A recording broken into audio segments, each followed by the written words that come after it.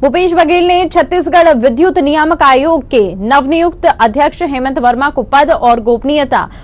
तथा संविधान के प्रति निष्ठा की शपथ दिलाई है साथ ही मुख्यमंत्री ने उन्हें शुभकामनाएं दी है हेमंत वर्मा छत्तीसगढ़ राज्य विद्युत नियामक आयोग के पांचवें अध्यक्ष बने हैं वर्मा के अध्यक्ष बनने के बाद राज्य की नई औद्योगिक नीति के अंतर्गत तेजी से विकास हो रहे उद्योगों को राष्ट्रीय स्तर पर प्रतिस्पर्धा में बनाए रखने के लिए उनका अनुभव राज्य के हित में महत्वपूर्ण होगा